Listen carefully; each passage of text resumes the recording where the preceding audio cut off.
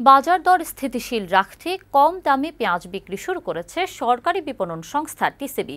সারা দেশে দুশো পঁচাত্তরটি ভ্রাম্যমাণ টাকে ত্রিশ টাকা কেজি দরে পেঁয়াজ বিক্রি করা হচ্ছে। সঙ্গে চিনি, মসুর ডাল ও সয়াবিন তেলও পাওয়া যাচ্ছে বাজার দরের চেয়ে কমে। করোনা ও বন্যার কারণে দরিদ্র মানুষের কষ্টের কথা বিবেচনা করে এই পদক্ষেপ নেওয়া হয়েছে বলে জানায় কর্তৃপক্ষ। আশিক মাহমুদের প্রতিবেদন।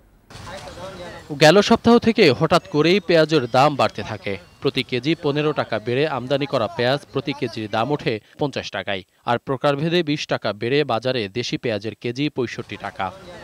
এ অবস্থায় বাজার দর স্থিতিশীল রাখতে ট্রাকে করে কম দামে পেঁয়াজ বিক্রি শুরু করেছে সরকারি বিপণন সংস্থা trading corporation of Bangladesh, TCB.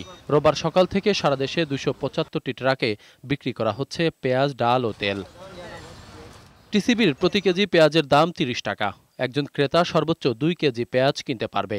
এছাড়া প্রতি কেজি চিনি পঞ্চাশ টাকা মসুর ডাল পঞ্চাশ টাকা সয়াবিন তেল আশি টাকা লিটারে বিক্রি হচ্ছে। কম দামে পণ্য কিনতে পেরে খুশি ক্রেতারা। বাজার একটু কমে গাড়িতে।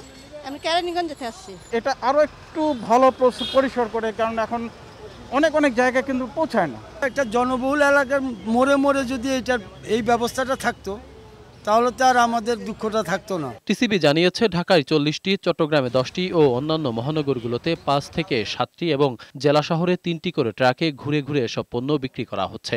বন্যা ও করোনার কারণে সাধারণ মানুষের কষ্টের কথা বিবেচনা করেই এই উদ্যোগ নিয়েছে সরকার। টিসিবির নিয়মে এভাবে এক পার হেড এক বোতল তেল দুই কেজি চিনি দুই কেজি ডাল এক কেজি পেঁয়াজ। শুক্র ও শনিবার ছাড়া আগামী এক অক্টোবর পর্যন্ত ট্রাকে করে টিসিবির পণ্য বিক্রি চলবে। আশিক মাহমুদ বৈশাখী সংবাদ ঢাকা।